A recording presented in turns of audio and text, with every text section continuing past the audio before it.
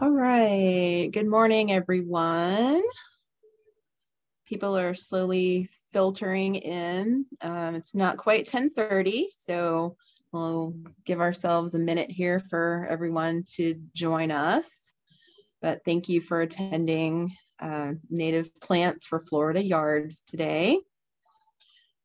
We're going to be focusing on, on plants that are more um, you know, generally used for um, most, you know, different site conditions. We're not going to use any plants really today that are really specialized plants um, that need really specialized conditions. Um, so this will make it easier for people to put the right plant in the right place, um, which is very important.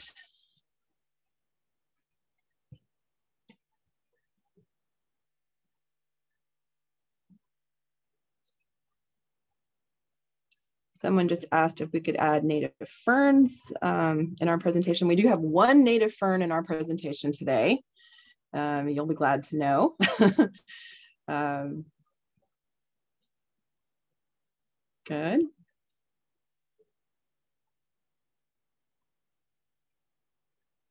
Okay, it is 1030, so I'm going to go ahead and start my screen share here and get us going.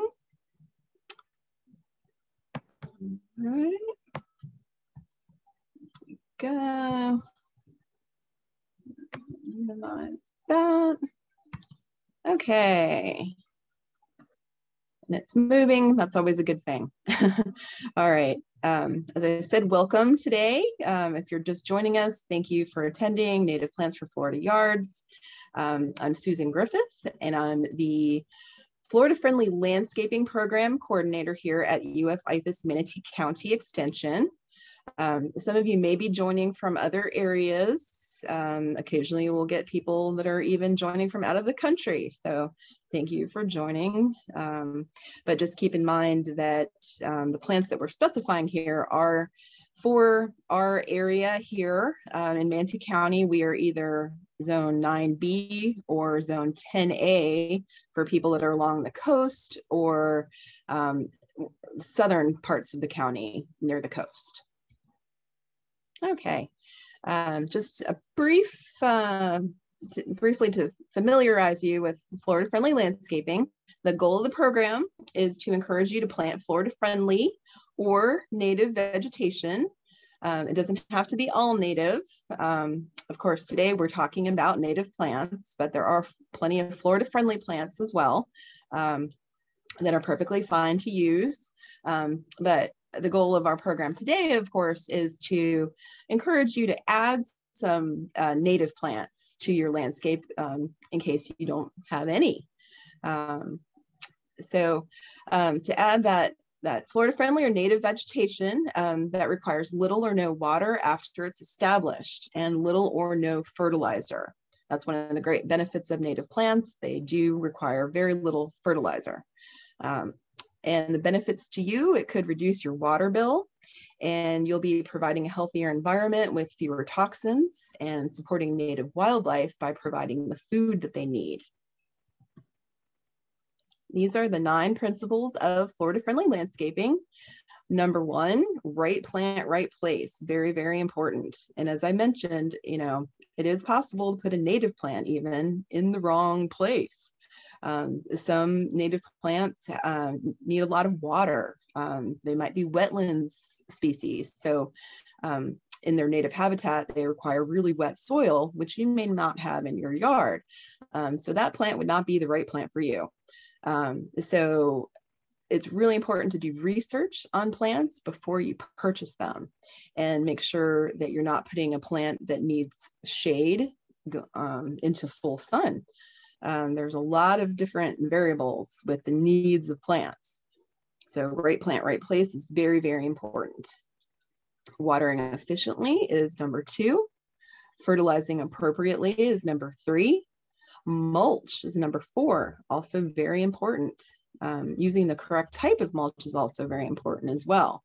Um, using a sustainable mulch Um, you don't want to be using um, cypress mulch, for instance, because cypress mulch is made from the very beneficial native cypress trees. So um, we don't recommend using cypress mulch.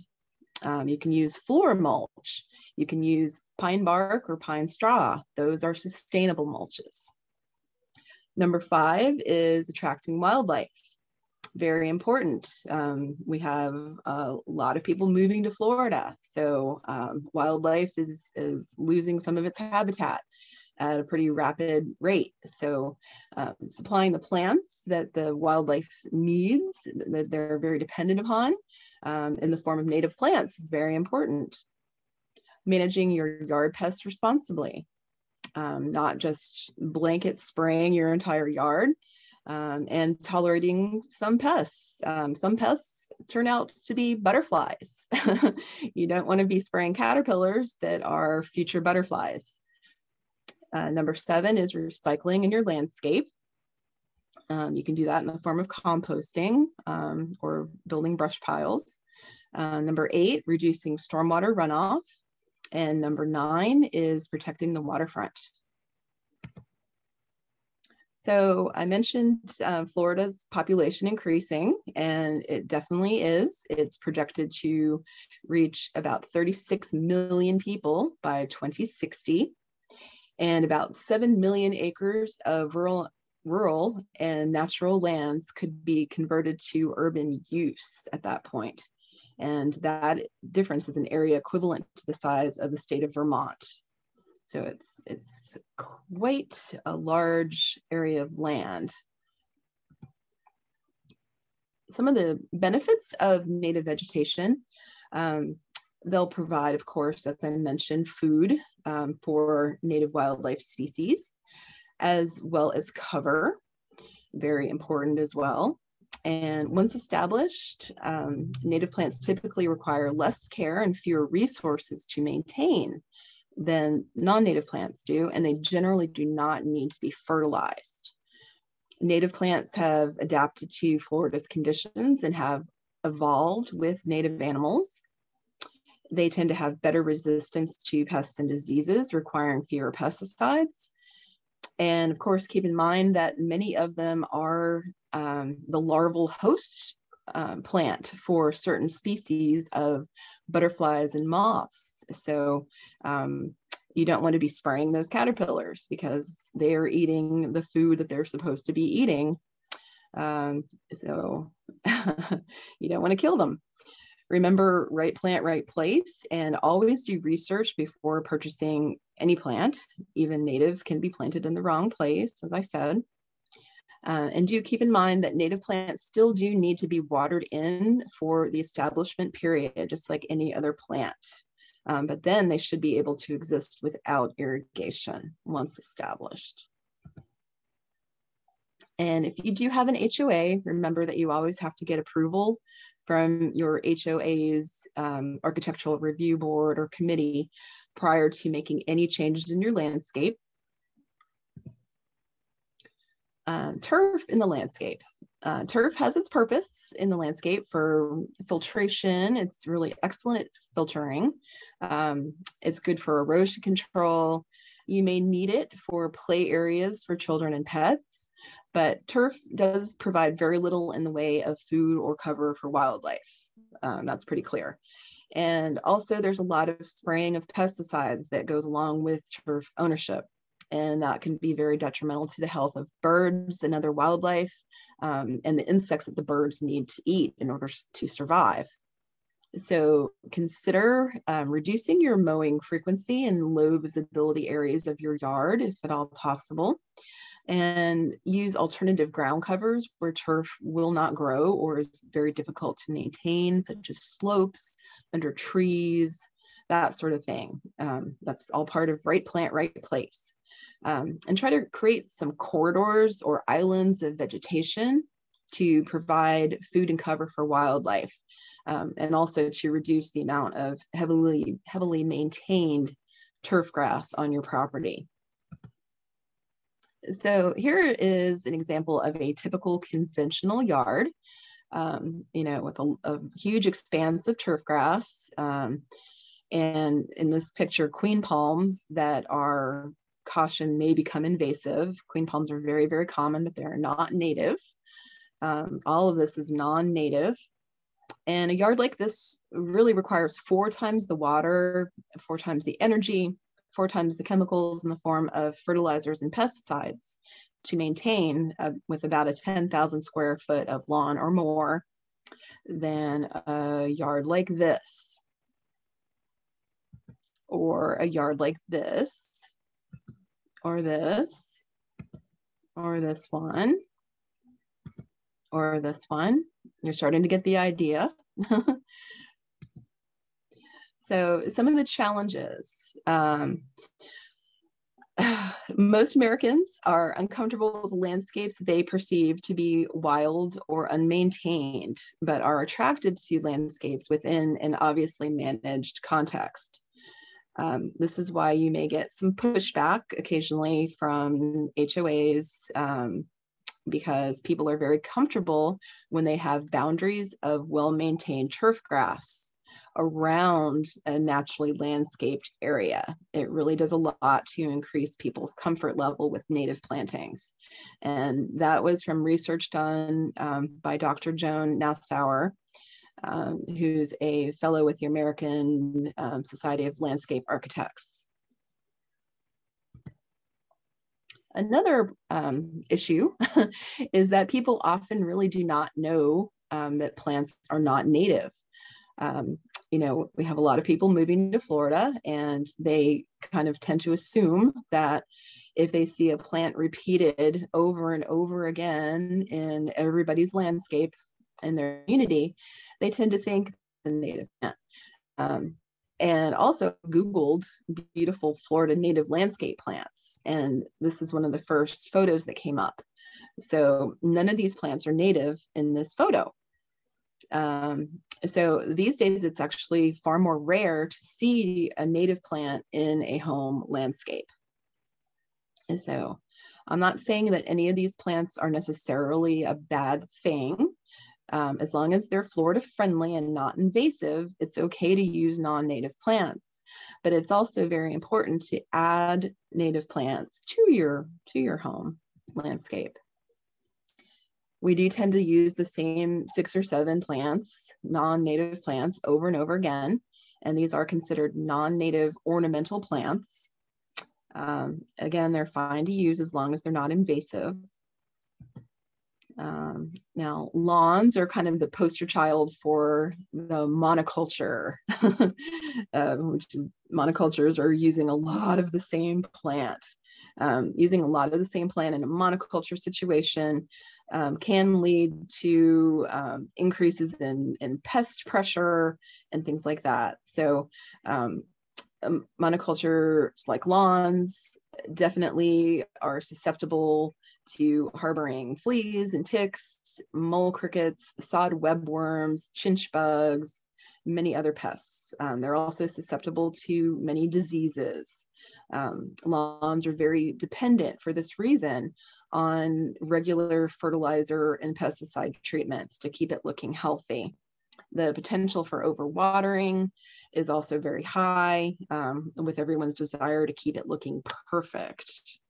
Um, it's very wildlife unfriendly. It provides no shelter, no food, and it is not native.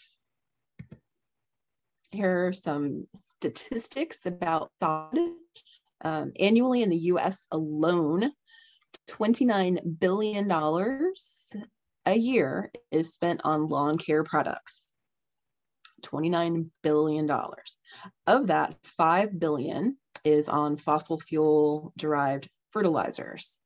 700 million is uh, spent on lawn pesticides. 600 million gallons of gas goes to lawnmowers.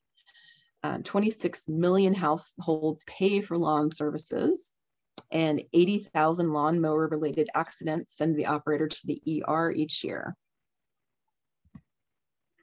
And water and pollution um, 30 to 60% of all household water is used to irrigate traditional landscapes.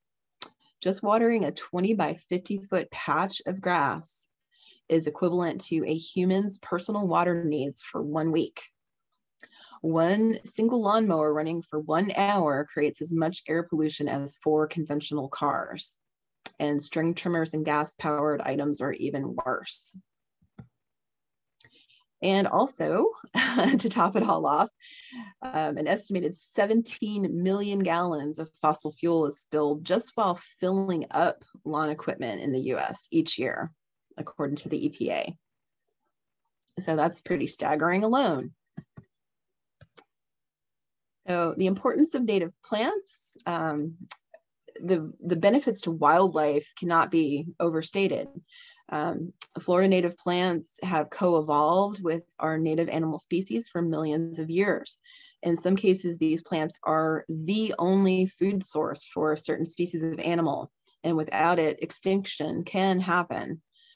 Um, and life is very interconnected in nature in ways that we really cannot see and do not understand. And often several species are affected adversely by the loss of just one plant in an ecosystem. Okay, we're going to pause for a quick question. Um, and you can just type your answer into the chat, please. Do you have to use all native plants in order to have what is considered a Florida landscape as long as the plants you're using are not invasive? Please type yes or no into the chat to answer that question. We'll give everybody a minute to do that.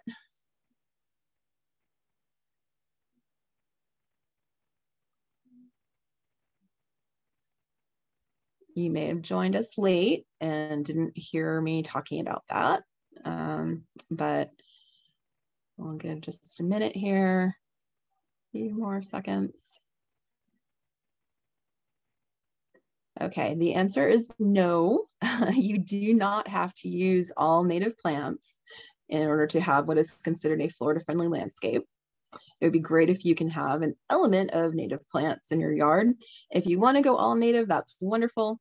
Um, but there's really no reason to rip out all of your landscape and put in all native plants, um, unless you want to be a, a true purist about it, um, which is fine if you'd like to do that. But um, you don't need to do that to be considered a Florida friendly landscape, as long as the plants you're using are not invasive. Okay. That is a common misconception. So I wanted to clear that up.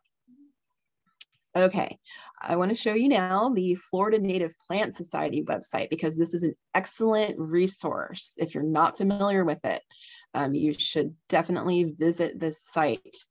Um, this allows you to do that really important research that I talked about doing before you buy your plants to make sure that you're putting the right plant in the right place. Um, they have a brand new website as of this year, so um, I'll take you through um, a few important aspects of it just to familiarize you a little bit with it in case you haven't seen the new version of it. So um, you can click up here to native plants um, and this drop down will bring you um, one of these options is native plants for your area. So if you click on that, um, you can, you'll see the state of Florida pop up here and then you select your county from the drop down. And once you do that, then you come down here and you select your USDA zone. And I did mention in Manatee County, we are either 10A if you live along the south coast or, well, anywhere along the coast um, in, in Manatee County, it's 10A. Um, and then the rest of the county is going to be 9B.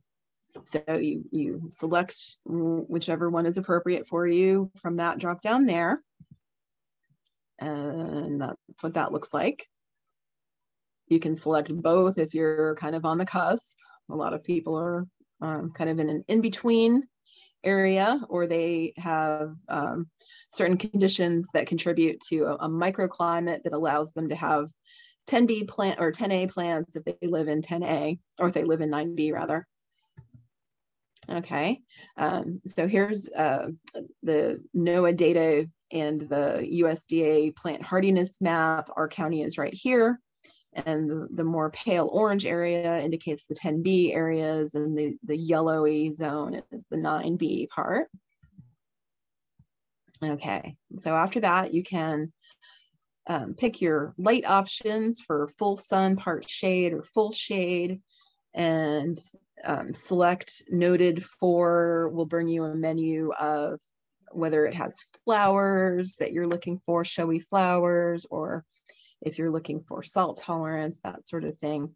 Um, down here, you can pick which types of wildlife you would like your plants to be suitable for and whether it serves all of these choices or at least one of your choices. Just know that the more items that you click to specify things, um, you're going to get a much more narrow list of plants. if you keep it more general, you'll have a, a, much broader list of plants to choose from. Uh, you can play with it, um, go back and, and alter alter it and then redo it um, all day long. um, down here, you can move these dots around for your moisture range options. Um, over here on the far left with the blue is aquatic conditions, and you just move that over. Um, most people are somewhere in the middle between um, really wet and really dry, um, but you just move these dots to, to give you what your site conditions reflect it's quite easy. Um, and you might want to think about joining the Native Plant Society if you haven't already. Um, one of the benefits of it is that you will receive 10% off of your purchases from your local native plant nurseries. So that can be a, a great benefit. Um, it costs about $30 a year to join the Florida Native Plant Society. Um, so that can definitely pay off if you're planning on buying a lot of native plants. And speaking of buying native plants, you can go to the Florida Association of Native Nurseries site here, afnn.org, to find uh, growers of local plants around the state. And another great resource is the Florida Wildflower Growers Cooperative, which sells the seeds to native wildflowers. And that can be, especially if you're talking about a, a large butterfly garden area or something like that that you're trying to put in, um, this can be really more cost effective for sure um, to buy the seeds rather than to buy the plants. Okay, now we're going to start by talking about the plants that are most appropriate for um, the zone of 10A, so the more coastal areas. Um, this also applies to uh, like Sarasota, um, Charlotte County, that sort of thing as well. If you're if you're watching from a different county, um, okay, and down a little further as well. Basically, we're the cutoff point um, for 10A and it goes down south from there. Okay, so sea grape, a lot of you may be familiar with this. Um, it's kind of a ubiquitous coastal plant um, because it's very, very highly salt tolerant. And when I say that something is very or highly salt tolerant today, we are talking about the ability for this plant to tolerate actual saltwater inundation in the roots. If I'm saying that it's only moderately salt tolerant, that means that it cannot handle saltwater inundation, but that it can handle some degree of salt spray, um, or it can handle perhaps brackish water, occasional brackish water inundation, um, such as you would find with like a tropical storm flooding condition that is a temporary condition. Um, but if it says very salt tolerant, that means that it can handle um, really high salts all, pretty much all the time. Okay, so this is one of those plants. And it's a great pollinator and wild, wildlife food plant. It does produce this really tasty fruit, which humans can eat as well. I'm a big fan. Um, it can be kept pruned as a shrub or allowed to grow into a very large tree. The sand live oak tends to be a um, slightly more salt tolerant. It's just a moderately salt tolerant tree, um, but more so than the live oak. And it is smaller stature than the live oak, but still quite stately. It gets up to about 40 feet high and 30 feet wide. It likes really sandy soils. Um, it can withstand hurricane winds. So another good reason for this to be more of a coastal plant and it is really excellent for supporting native wildlife like like most oaks are it's the larval host for several butterfly species and their acorns are actually preferred by many bird species because they're lower in tannins the gumbo limbo. this one is known for its very interesting branching and its red peeling bark. They call it the tourist tree. It is the larval host for the dingy purple wing butterfly, and birds and other wildlife will consume its seeds. It is partially deciduous and only moderately salt tolerant. Uh, the West Indian mahogany is another large tree. This guy gets up to about 70 feet tall by 60 feet wide. It has very showy fruits, um, very pleasant fragrance, and really excellent hurricane wind resistance. The sable palm is our Florida state tree, even though it's not really a tree. um, it is an excellent wildlife plant. It is said to support um, at least 50 different species of wildlife. Um, this is its mature version over here, of course, with the tall trunk. Um, but this is what it looks like as a youngster with its very short trunk which leads to um, confusion and misidentification in some cases because it looks so different when it's young. And it is the larval host plant for the monk skipper. And the silver buttonwood, uh, Conocarpus erectus. This is extremely high salt tolerance with this one. Um, these guys coexist with um, mangroves in the wild quite frequently. Um, attractive um, especially in the silver form, is really very attractive and it does have mass market availability. Um, you can actually find this in the big box stores as well as native plant nurseries. It is a nectar source and host plant for the Marshall scrub hair streak and the Tantalus sphinx moth. The false mastic tree uh, Sideroxylon fetidissima. That's one of those really long um, Latin names that I've mangled quite well. Um, moderate salt tolerance on this one. Uh, it's a large tree that can get up to 60 feet uh, or above 60 feet rather. It can reach eventually 100 feet tall. Very large tree, great for shade. Um, it has interesting foliage and flowers that support insects, and it is tolerant of brackish water um, inundation as is this one, its relative, also a sideroxylon. Um, this one also moderately salt tolerant, um, but will tolerate um, brackish inundation, um, but not sustain salt spray on the foliage. This is a medium tree, uh, slow growing up to about 25 feet. It does produce fruit for birds and mammals and has flowers for insects and a very pleasant fragrance when it's blooming. The fiddlewood also has very pleasant fragrance when it's blooming. And this is a really pretty, um, either large shrub or it can be trained to uh, really a beautiful little uh, small tree up to about 25 feet tall.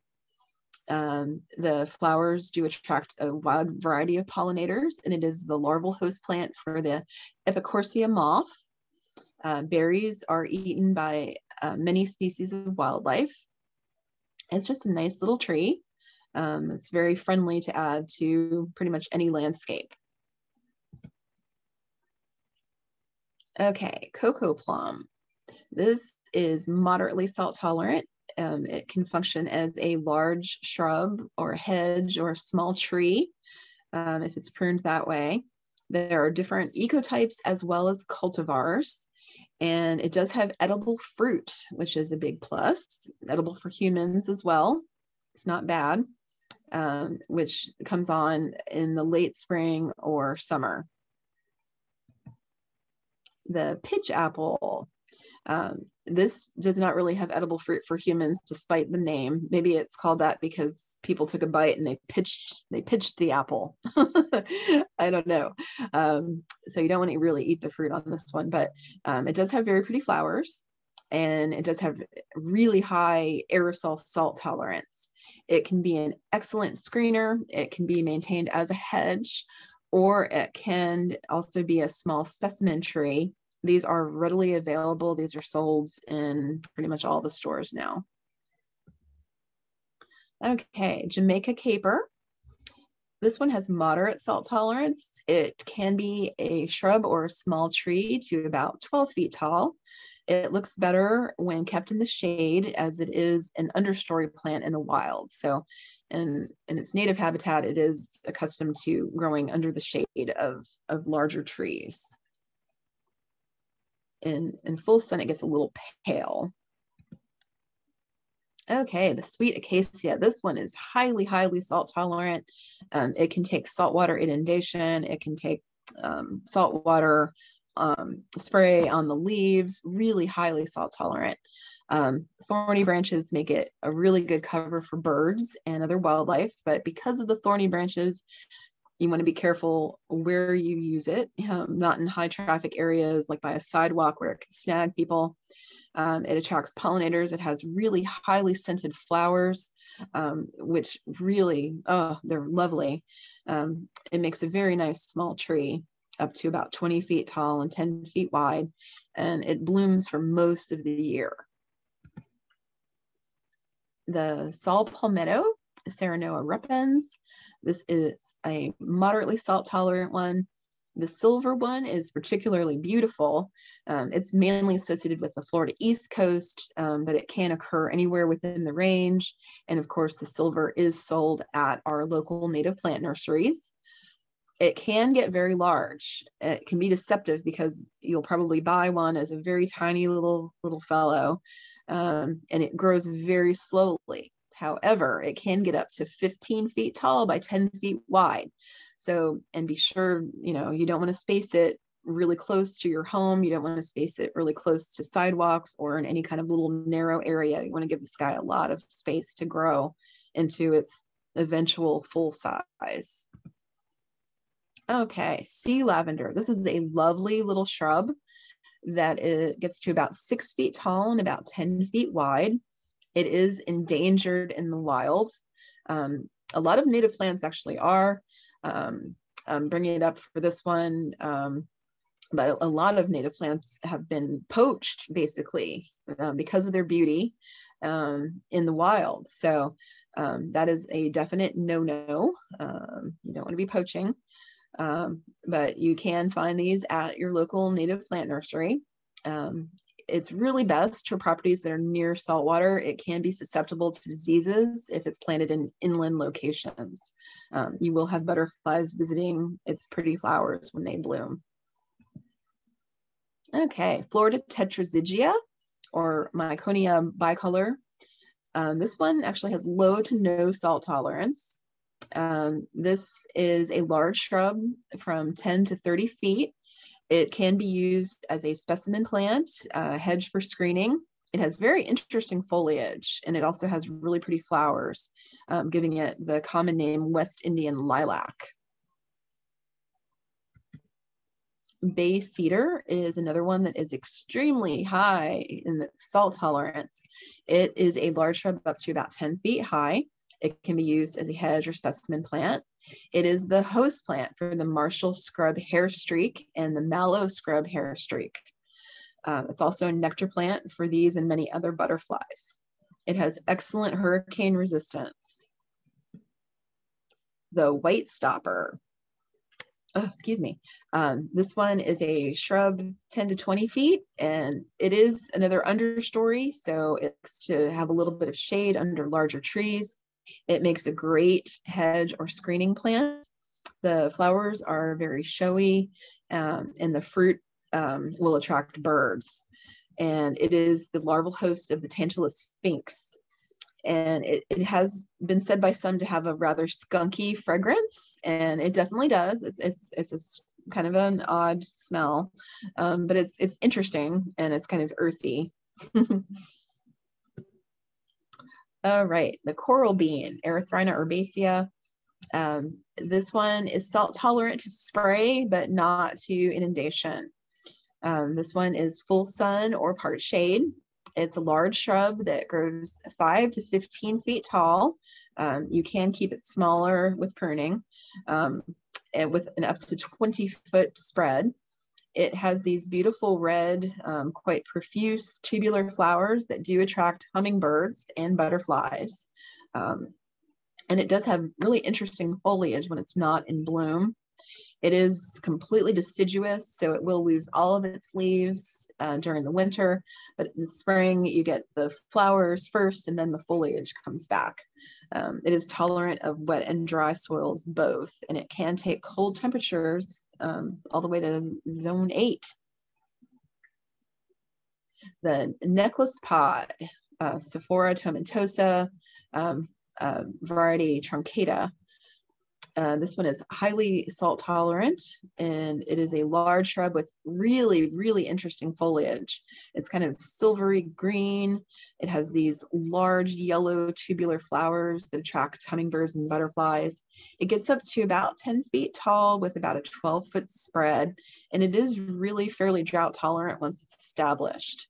It also does well in inland locations where other it can be protected from hard freezes the maidenberry, uh, Crossopetalum rhacoma. This one is highly salt tolerant. It's a large shrub, really good for coastal areas. It can take inundation of, of salt water and salt spray. It gets up to be about eight feet high, eight feet wide, and it can be used in a group as a screening hedge or in, as a solitary specimen plant if you would like to train it as a small tree. Um, it has really showy red fruit that's very attractive to birds. Adam's needle, Yucca filamentosa, is moderately salt tolerant, a very attractive plant. Um, it can handle sun or shade and has excellent drought tolerance. Here is Pineland lantana, Lantana depressa. It has moderate salt tolerance. Um, I want to mention that you want to beware of non-native lantanas from big box stores. They are probably invasive. Um, so we really would recommend that you get your lantana from native plant nurseries, just so you know what you're getting. Um, this beautiful lantana gets up to be about four feet tall with about a six foot spread, and it is just a magnet for pollinators. It is constantly covered with all sorts of a variety of different pollinators. The butterflies adore it. Um, this is actually in my backyard shown here and it's always covered. It's, it's a real uh, focal point and a source of fascination in my backyard that keeps me very well entertained. Um, it does not like irrigation, however. I do not have irrigation in my yard and it's very happy in a really sunny spot with no irrigation. It, it blooms continuously in full sun um, pretty much all year long. So really lovely plant. Uh, the coontie, another lovely plant that I'm a big fan of, um, very tolerant of most conditions, including salt. It can live in sun or shade conditions. And one of the great things about it, it needs zero hedging or shaping. Um, it just has that wonderful rounded form all of its own. Um, and it is a zamia. It's very palm-like, but it's a zamia, not a palm. And it grows very slowly, very, very slowly. Um, so the plant that you'll purchase is going to be rather small. Um, just allow plenty of space because it will grow very slowly to four feet high and four feet wide. So allow enough space so it's not crowded. All right, muhly grass, um, Muhlenbergia capillaris, highly salt tolerant. Um, most of the year it looks like a typical uh, grass, ornamental grass, but then in the fall it puts on this beautiful show um, with these purplish plumes that are really magnificent. Um, very tolerant of all conditions, drought, occasional flooding um, is fine. Dwarf Fakahatchee grass is another kind of well-behaved native uh, ornamental grass. Um, this one is the dwarf, so it's it's more practical for home landscapes than the full-size Fakahatchee grass, which is much larger. Um, this is the larval host plant for the Byssus skipper. Um, and even when trimmed occasionally, it will return to a tent-like bunch, which is really excellent cover for small mammals, birds, and reptiles. And deer will eat the hard corn-like seed um, produced by this grass. You can kind of see it in this picture. It's just forming now. It can die back um, during exceptionally cold snaps in certain areas, but it will quickly regrow. Tropical sage is another beautiful native um, hummingbird and butterfly attractor. Um, also, nuthatches, warblers, and bumblebees enjoy this plant. It can take full sun or part shade. Um, it can get up to five feet tall by two feet wide. Um, I was amazed the first time I saw one that was almost as tall as me, but it, it, does happen. Um, it can reseed itself and it may become aggressive in some people's opinions. Okay, coastal sea rocket. This is highly salt tolerant. Uh, it's a coastal perennial that makes a really good ground cover um, for coastal areas. It will reseed itself. It does not like irrigation or acidic soils. So if you have really, really sandy soil and no irrigation, this could be the plant for you. Mangrove spider lily. Um, this one is extremely salt tolerant. Um, this can get two to three feet tall and can fill in large areas. Oops, I have an extra A in area. um, in a couple of years, if the conditions are optimal, um, they're a very long-lived perennial and they do reproduce on a pretty, what could be called aggressive basis in some yards. Beach creeper is a really nice little ground cover um, for high, hot, sunny, dry areas that are difficult for a lot of plants. Um, this is another great plant for those conditions. It can actually die if regularly ir irrigated, um, just like the, the sea rocket. All right, Elliott's love grass. This, if you're looking for a small grass, um, a petite little grass, this is your guy. Um, they're moderately salt tolerant. It gets up to only about two feet tall. And when it blooms, it, it just kind of looks like a mist surrounding the grass. It's really very attractive. Um, there's also a purple love grass that's quite pretty as well. Um, this is great for either mass plantings or edging a bed around taller native plants. Um, small birds and other wildlife will definitely visit it to consume the seeds that it produces. Um, it is the larval host plant for the Zabulon skipper. Um, it will not tolerate saltwater inundation, um, but it can take uh, a bit of salt spray. Um, it's considered a short-lived perennial, but it will most likely reseed itself. The West Coast Dune sunflower. Um, this is pictured here, Helianthus debilis um, subspecies vestitus. And this is the West Coast um, subspecies, which is a lower growing subspecies than the East Coast variety, which gets a good bit taller. Um, so this really makes an excellent ground cover um, for any full sun areas throughout the county. Um, it's it's quite tolerant of conditions. Um, it is considered an annual though, um, a lot of people assume that it's a perennial, but it's actually considered an annual or a very short-lived perennial. So um, this is one that you you may end up having to replace it eventually, um, but that's fine. It's it's a beautiful it's a beautiful plant. Um, it may reseed itself though. Um, all right, spiderwort. Speaking of reseeding itself, this one is very good about doing that as well. Um, it could be called an enthusiastic reseeder, this one. Um, but that's great because it's a beautiful plant with beautiful flowers. It can be used as um, sort of an open, airy ground cover um, or really it's ideal as a border plant um, because of its growth habit. Um, it's very pollinator friendly, especially bees love it. Um, just warning, it is extremely delicate. So when you're transporting it after you buy it, just be very careful so you don't snap off all of its limbs. Uh, the native porterweed.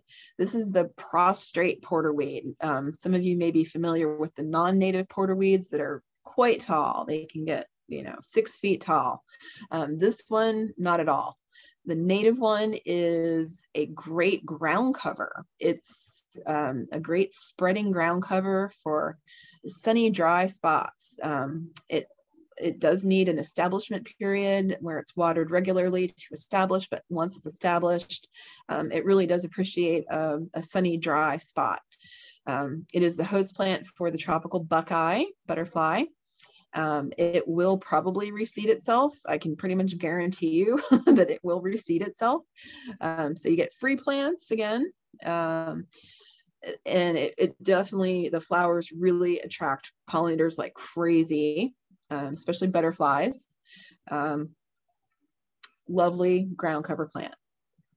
Here is a beautiful vine um, that is actually native to Key West, but as long as you keep it protected, um, you can have it even in 9B. I'm in 9B. I, ha I have a lot of these plants. Um, I have a microclimate though because I live really close to a, a huge body of water and that really is what makes the difference in the zones is if you live near a huge body of water it definitely does keep your temperatures up a bit so um, that's again the microclimate um, so as long as it's protected or you have a microclimate situation like that um, you can you can have some of these plants that are not necessarily for zone 9b um, this is a really pretty vine. It can grow up to 12 feet if it has trellis or other support. Um, it can grow in full sun or part shade. And even if it's in part shade, it just blooms um, like crazy anyway. It doesn't necessarily need to be in the sun bloom, which is good. Um, it gets its purple flowers. It's like a bluish purple. It's a very unusual shade that you don't often see in the landscape. So that makes it quite special um, all during winter, all during spring. Um, and during winter, you know, flowers can be scarce. So this is one of those great little pops of color in your landscape during the winter time. And it does attract a huge variety of, of pollinators. This is one of those plants uh, in my yard that is just always a buzz with all sorts of different creatures. It's wonderful. Okay, the thatch palm, Thrinax radiata. Um, this is a salt tolerant guy. He's a slow growing native palm and it's quite beautiful. It will eventually reach 20 feet tall at uh, only about six inches per year um, growth rate. It is native to South Florida. Uh, this is another one that has been poached excessively in the wild, unfortunately. Um, but you can purchase this at uh, native plant nurseries. I've even seen this at big box stores. Um, it is cold sensitive, so you will definitely need to physically protect it if you are zone pushing, like I mentioned, um, to try to get it into zone 9B. Um, I do throw a sheet over mine in the winter if we get down, you know, pretty low, below 38. Okay, Buccaneer palm, the Pseudophoenix sargentii. This is another beautiful native plant that is rarely seen. This is another one that has been poached in the wild, um, so it is endangered in the wild. But you can um, get this at certain native plant nurseries. Um, 10 to 20 feet high um, with an 8 to 10 foot spread. It can get up to about 40 feet, but very, very slowly. It is native to South Florida and again, cold sensitive, so protect it in the winter if you happen to be um, in 9B. Okay, speaking of 9B, we're going to talk about the plants um, that are specifically for 9B, um, which is the majority of the county, the, the big yellow section of the county there on this map. Um, so that is the most of us. Okay, live oak. Um, this is another one that provides food and shelter for about a hundred different species of wildlife. So um, live oaks are really like a, a keystone species. Um, it's wonderful to be able to maintain one if you have the space for one. Um, it, there's it, it's the most valuable wildlife plant that we have really. Um, but they are massive. When they're full grown as many of you probably know um, they can get 80 feet tall and about 100 or 120 even in some cases feet wide. So it needs plenty of space. Um, but it, it is a, a, wonderful plant to add uh, to your landscape if you have the space for one the slash pine. Um, a lot of people don't think about um, pines. They're, they, you know, we don't even notice them most of the time because their foliage is up really high, but um, they're they're a beautiful landscape plant, really. Um, and you can purchase one at a local native plant nursery. Um, they they do get quite tall. The slash pine up to about 100 feet tall and 50 feet wide in maturity. Um, but of course, that 50 feet wide, once it's mature, is way up in the sky. Um, it's a very fast growing tree. Um, birds and squirrels will eat the seeds. And the other bonus is that large birds of prey will often visit the top branches. The sugarberry, another large tree, um, very showy tree, very interesting bark, um, as you can see in that picture. Um, the fruit is eaten by birds and small animals. Um, it's a wonderful pollinator plant. Um, it is a larval host for the hackberry emperor, the mourning cloak um, butterflies, and it is the sole larval host plant for the American snout and also the larval host for the tawny emperor and question mark butterflies. So um, it is a great um, butterfly host plant. It is deciduous. Um, and quite large, again, 80 feet high, 50 feet wide spread. But if you have the space, it's a, it's a great wildlife tree. Um, here's a smaller tree. Um, this is the Simpson stopper. Um, it has moderate salt tolerance. Most of the plants that we're talking about now are not going to be the, your coastal plants. These are going to be plants that might have moderate salt tolerance, but none of the plants I'm going to talk about from here on out are going to be a high salt tolerant plant. Um, these are more for the more inland areas of the county, the 9B areas. Um, this can be maintained as a large shrub or it can be trained into a really attractive tree up to about 30 feet high and about 20 feet wide. Um, it has really beautiful bark. So it is it is definitely advantageous to to let it grow into a large tree and show off that beautiful kind of coppery colored bark. Um, it's an excellent wildlife plant. The birds will come for the berries. They love the berries, and pollinators love the flowers. This is another plant that just swarms with pollinators. Um, actually, this time of year when it's blooming, um, you can kind of hear if you have a Simpson stopper nearby and it's blooming, you'll hear the buzz. Um, it's a very tolerant plant and its leaves smell like allspice when crushed. So really a lovely scent Lovely plant. All right, sparkleberry. This is a relative of blueberry. Um, this is one that I threw in here just because I, I love this plant, but it does require a more acidic soil. So this is not one for everybody.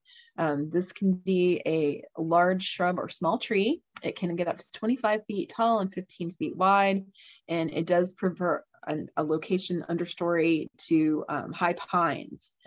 The pines actually um, help with the acidity of the soil because their needles um, provide, as they break down, they, they provide acidity to the soil. So um, if you happen to have an area of, of pines, older pines in your yard, this is a, a great tree to add under them. Um, in spring, it has really profuse white flowers. Um, and it is the larval host plant for the striped hair streak. Um, it attracts many, many pollinators when it's blooming, and it's especially valuable to native bees. And the fruit will be consumed, consumed by birds and other wildlife. And the, the flowers are really quite pretty. They look a lot like blueberry flowers. Okay, marlberry this is another understory. So this is not one that you want to put in full sun. Um, this is a lovely small tree, or you can maintain it as a shrub um, for shadier sites. Uh, it has really showy flowers and fruit, as you can see in that picture, and interesting foliage, interesting bark. It has very weak wood, however, and very minimal salt tolerance, um, but it is a great wildlife plant for both birds and pollinators alike. Uh, gallberry, Ilex glabra. Um, this is um, a, a, great bird plant. The various species of bird will eat the fruit. Um, bees pollinate the flowers. This one does like a little bit more acidic soil as well. Um, it can get scraggly if too much shade. It does make a good shrub up to about eight feet tall and medium light. The American beautyberry. This is another one attracts various pollinators. Um, when it's blooming, it's just covered with pollinators. Um, and of course, it it's named beautyberry because it has this really attractive fruit that it, many bird species will consume. Um, the juice of the fruit is a natural mosquito repellent, according to some old Florida folks. Um, that was our earliest uh, mosquito repellent. It performs best as an understory shrub up to about eight feet tall and six foot wide maximum. And medium sun to part shade is generally best. It'll look better um, than it, if it's in full sun. Wild coffee is another one that looks better if it's in the shade rather than the sun. Um, none of these are salt tolerant at all. We do have three different species of wild coffee available to us at native plant nurseries.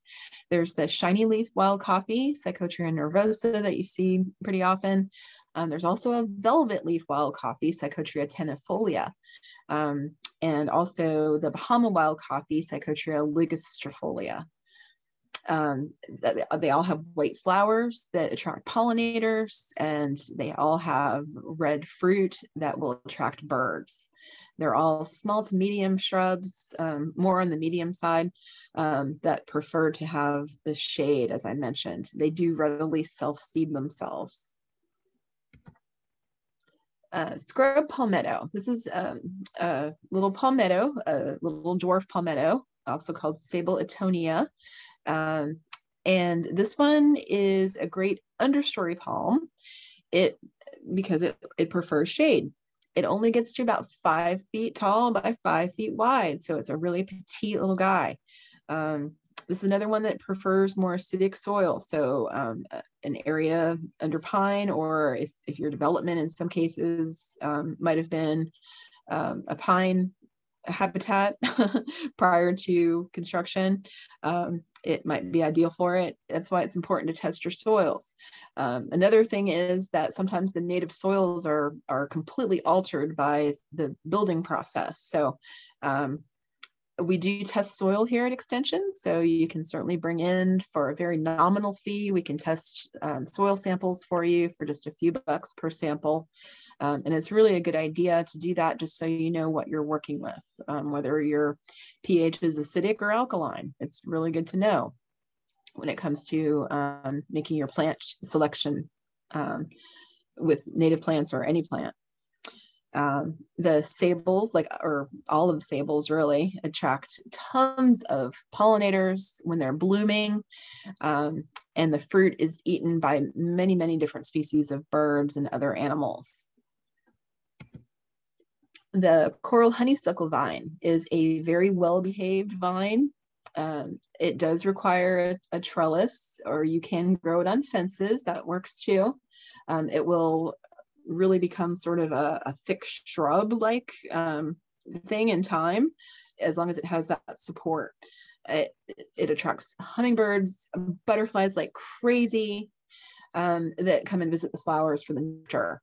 Um, birds, especially cardinals, will come and eat the seeds and they aid in the distribution, of course, of, of the seed in the wild.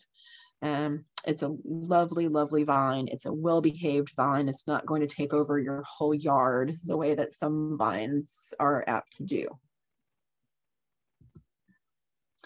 The privet senna. Uh, this is a very adaptable, versatile shrub. Um, it can be a specimen plant up to about nine feet tall.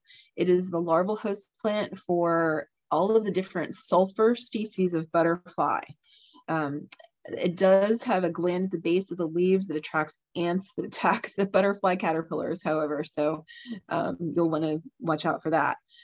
Um, it can live in sandy soils, but it does prefer some organic content in the form of compost. Um, it's wonderful. Um, both of the um, common native sennas, um, I'll show you in the next slide, another one, the Bahama cassia. Um, cassia and senna are used interchangeably, basically. Um, um, this one is the the Bahama cassia. They both bloom almost all year long as long as they get enough sunlight. Um, this particular one, as long as it's in really full sun, will seldom exceed three to five feet high. It will um, kind of get stretchy if it's in the shade, and it will get up to about nine feet if it's in partial shade. But if it's in full sun, it'll stay really quite compact. Um, and like I say, blooms most of the year. And again, this is another um, larval host plant for all of the sulfur butterflies, the, the, the yellow and the pale orange um, and the, the white, sometimes white butterflies. Um, okay, needle palm. This one is a gorgeous palm rarely ever seen really. Um, they're very cold hardy. So even northern florida you can have one of these um, up to zone eight. They do prefer a moist environment so planting it near like a low spot in the yard is good or um, an area that has irrigation it'll be nicely suited to that. It is an understory plant so it does need shade. Um, this would grow nicely um, in an area with a lot of oak trees. Um, they do have really sharp spines. That's where it gets its name, needle palm. Um, but it is a, a really beautiful palm um, with really pretty fronds. Um, and it is a clumping palm, not a solitary palm. So it will clump out to become a, a much wider clump of palm. All right, Walter's viburnum. Um, this one is used often as either a specimen plant when it's trained into a, a single tree, or it can also be used as a hedge or a screen. Um, warning with this one, it may sucker and produce a thicket around itself. Um, if you don't want that, this may not be the plant for you, or you may want to keep it in a pot with a saucer underneath it to control that tendency. Um, it blooms prolifically in the late winter through spring and it's another one that is just literally covered with all sorts of pollinators and birds and other wildlife will consume the fruit. Here's uh, one of my personal favorite plants, the tea bush, also called the woolly pyramid bush, Melochia tomentosa. Um, is a large shrub up to 10 feet wide or 10 feet tall, um, eight feet wide. Um, it can also be trained into a small tree form Another excellent plant for uh, a diverse population of pollinators. Um, it'll be constantly visited. Um, if you're trying to avoid bees, if you have a, a, bee allergy or something, this is not the plant that you want. It, it's definitely a bee magnet. Um, but if you're okay with bees, this is a wonderful plant for you. Um, it can actually uh, die if it's regularly irrigated. So this is great for non-irrigated yards um, in a high and dry kind of environment with full sun. It will thrive. Um, it blooms for most of the year with these really pretty purplish pink flowers. And it has this nice silvery green foliage um, and a really pretty reddish bark that really stands out against that silvery green foliage. It's really a nice large shrub. Um, firebush, a lot of people may be familiar with, um, is a very popular one. Um, large shrub, 12 feet high max by 8 feet wide. Um, it does prefer um, a bit more moisture than, than some of the plants we've talked about um, to really thrive. it prefers full sun or partial shade location rather than full shade. It'll definitely bloom more if it gets a little bit more sun. Um, it can take heat and drought, um, but a strong wind can cause some leaf browning and it can be killed back to the ground if we ever were to get a, really hard freeze again. Um, but it, it's hard, root hardy to zone 9B. Um, you might want to give this a little bit of compost occasionally to bring out um, some of its best characteristics. And do not allow long grasses to, uh, to invade its root zone. So keep it separated with the mulch area for sure. Uh, it attracts butterflies and hummingbirds. It does require pruning to keep it in shape. Otherwise, it does tend to get a little rangy. Um, just beware, you'll see this plant for sale a lot of the time outside of native nurseries, and those are going to generally be the non-native species, um, which are mostly from Africa. All right, St. Andrew's Cross is another beautiful. It can either be used as a tallish ground cover if it's used in mass or um, a, a, small shrub um, for uh, you know, just singularly. Um, butterflies will visit it. It has nice little yellow flowers. It has kind of weepy foliage that's quite attractive as it matures. Um, it likes a slightly wetter setting, but it can definitely adapt to a drier one as well. Starry rosin is a, a typical wildflower. It will um, self-seed. Um, collecting seeds is really easy. Just remove the dead head, um, once the, the flowers are spent and store the seeds at room temperature and plant them again in late winter or early spring and you'll have a new crop. This is one of the plants that is widely available on the Florida Wildflower Growers Cooperative that I mentioned earlier. Um, it also propagates uh, via rhizome. So you can actually do root cuttings off of this plant as well.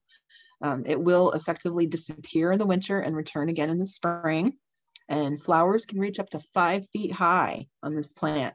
And it is visited by many different species of butterflies and native bees.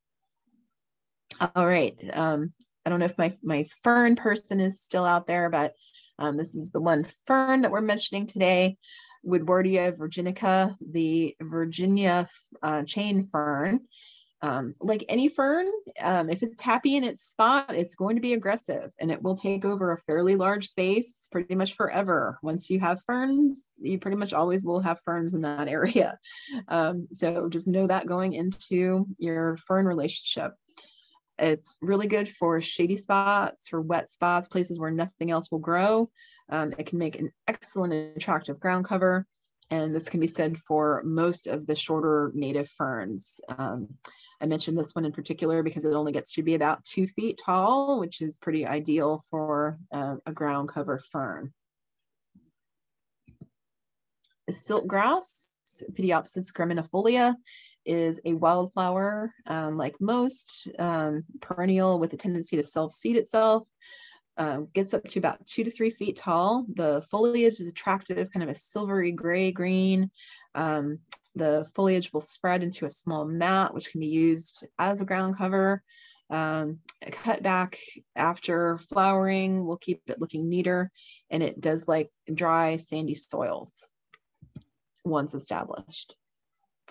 Leavenworth's tick seed, Coreopsis leavenworthii, it attracts many butterflies. It is also the pollen and nectar source for honeybees, native bees, and wasps.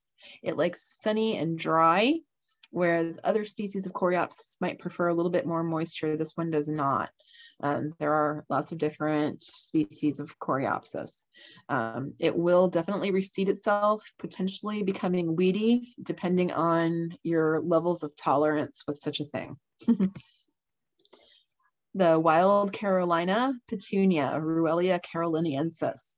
This one um, is the larval host plant of the common buckeye butterfly and also the white peacock butterfly. It also attracts many other pollinators. It is considered a short-lived perennial. You can collect the seeds, but they do need to be cold stratified. So there's a little bit of a process to it um, to ensure that they will germinate.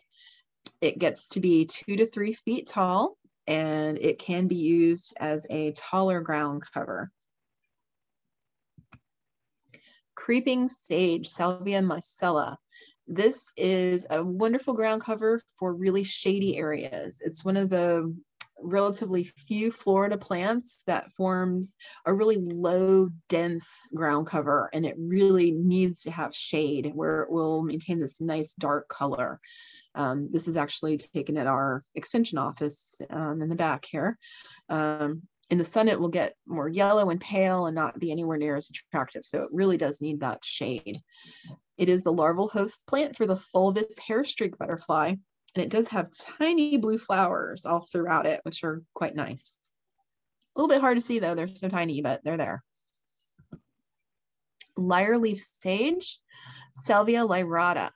This um, can be mixed in with grasses or other low ground covers. Um, it, it, does really reseed itself really freely. So you'll have a lot of these. Um, um, some people intermix them in their mixed species lawns um, as part of, of their lawn, and then they mow it once it's established. It can be mowed, um, but that's only if you live in an, uh, you know in a situation where that sort of thing is allowed. Um, and it does attract many pollinators, including hummingbirds, butterflies, and bees. Twin flower, Dyschoriste oblongifolia. Um, there's also a humistrata, which is the lakeside twin flower, and that one is more for wet and shady conditions. Um, whereas the Dyschoriste oblongifolia, pictured here, is um, uh, much more tolerant of drier conditions. It attracts many pollinators, especially bees. It is the larval host plant for the common buckeye butterfly. Um, and it can take periods of heavy rain, but really it's great for once it's established um, for, as I said, the tolerance of really long, prolonged dry conditions. Um, once it's established really well, it can also be mowed, uh, mowed um, as part of a lawn. And last plant of the day is our beautiful little sunshine mimosa ground cover. Um, it can also be incorporated into a lawn if you're allowed to have um, uh, uh, whatever kind of lawn that you want. Um, it can be used as turf replacement, can be mowed. Um, it's not good for really heavy walking traffic. Um, you'd want to use step stones if you were going to be walking on it every single day. Um, and it does not tend to have good cover in late fall through early spring. Um, in some cases, it, it does become rather um, dormant and deciduous um, during the, the cold winter months.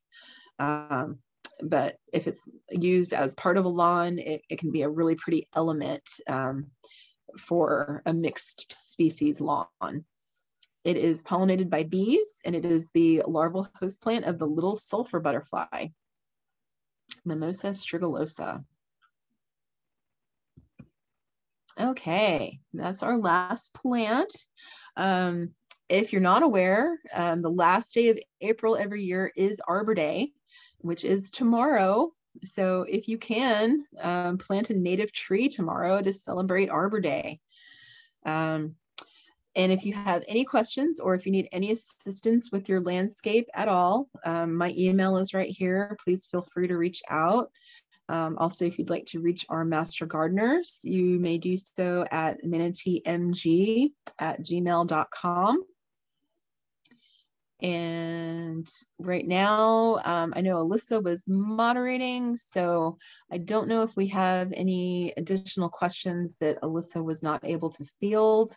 But um, if you have any questions right now, we can definitely do um, a Q&A. Yeah, I saved a few in the Q&A um, throughout the presentation that I think might be useful for the whole group.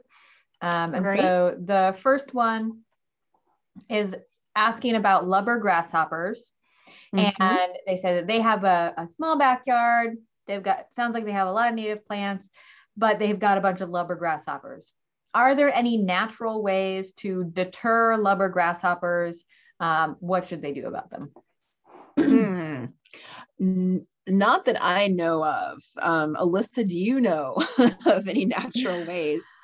Um, um unfortunately, um, no. and there aren't um, there aren't really very many good um, even insecticidal options for the lubber grasshoppers. They have a very um, effective exoskeleton especially when they reach their adult stage, their fully adult stage. One of the best things to do with lubber grasshoppers is going to be to go out and kind of shake them off of your plants onto like a sheet or a tarp or something you can collect them in and then dump them into a bucket of soapy water. Um, if you can if you can shake them all into a spot and dump them into that bucket of soapy water make sure they're immersed in that soapy water that's going to be the best way to kind of get rid of the majority of them. You're never going to get rid of all of them i can't even get my chickens to eat them so oh, no. yeah I've, I've tried tossing them into my chickens and they just look at me like what is this little robot you're trying to feed me? So uh, okay um next question is about salt tolerance. If a plant is salt tolerant, does that mean that if they're not near salt water, they won't do well? No, not necessarily. No. Um, the only one that I really know of is the one that I really called attention to um, that specifically likes a more coastal environment, um, and that's the sea lavender. Um, that is the only one that I know of off the top of my head, anyway, that um, specifically has been tried in a, you know, several times in more inland locations and it has not done well. Um, Alyssa, do you know of any um, besides that? Um, I, other than, you know, a mangrove tree, you're, oh you're well, gonna, yes, yes, yeah. you're, right. you're, you're not gonna you're not gonna plant a mangrove tree in an upland environment and have it do very well. It's not gonna outcompete with the other things that are that are more adapted to that location. And somebody did have a question too about um, if you can take a salt tolerant species and put it in a littoral zone in like a wetland or a stormwater pond. And the answer there is probably not. Um, only because those species that are suited to that highly salty coastal environment are not going to like that freshwater environment as well. Now, there are some species that would um, that would do okay in either place. Uh, one of them that I'm thinking of are some of the Spartina grasses might do okay if you swapped them between those two locations. But um, but otherwise really you want to look for those plants that are that are specialized for that um, kind of freshwater wetland area. Mm-hmm. let's see. Um, and then somebody has a question about um, very sandy soil that is also very shady. Are there any plants that do really well in very sandy very shady soil? Oh very sandy very shady. Um gosh um,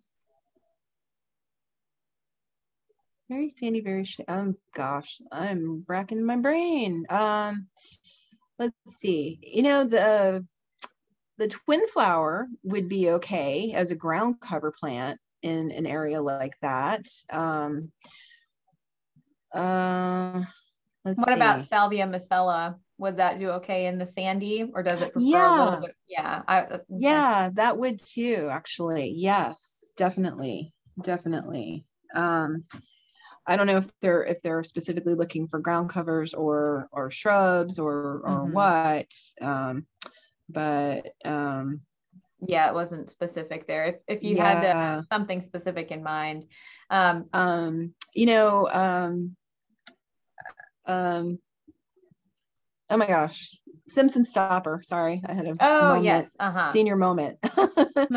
Yeah. Um, simpson stopper uh, will do mm-hmm. really well in in shade. And and sandy if you're looking for a shrub or a small tree type of thing um, and so will um, um, fiddlewood. Fiddlewood mm-hmm. fiddlewood um, would work really well as a as a small tree in an area like that as well. Mm-hmm, mm-hmm.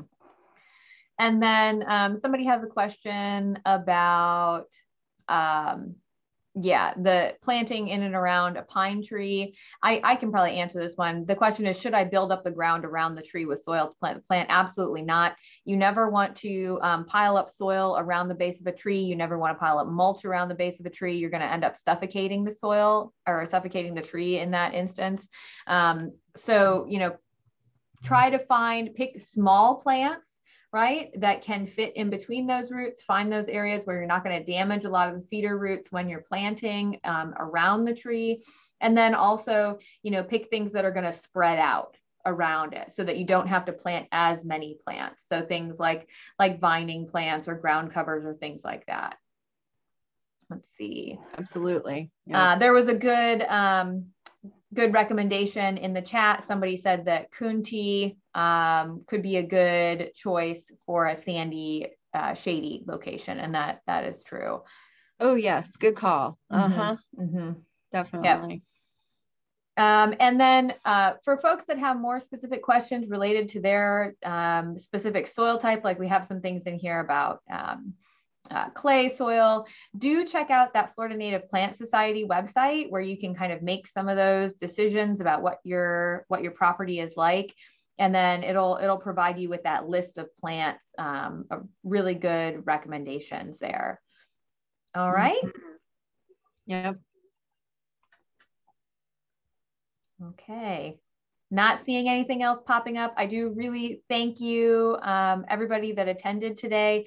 I know we had a little bit of issue at the beginning um, with some folks on mobile devices and not being able to see the presentations uh, or see the see the slides. So please um, if that was a problem for you, you know, I do apologize. I, I, went in and tried to make sure everything was set correctly on our end, but remember that this is an on-demand webinar, meaning that once we conclude today, give it a little bit of time, you should be able to click on that same link that you accessed the webinar today and access the recording of the webinar, okay? And then Susan, if you have any last thoughts, thank you everybody. Yep. And one more thing, a lot of people just like to have um, like a PDF of the presentation afterwards so they can refer back to it. And by all means, if you'd like to email me, I can provide you with PDF of it as well.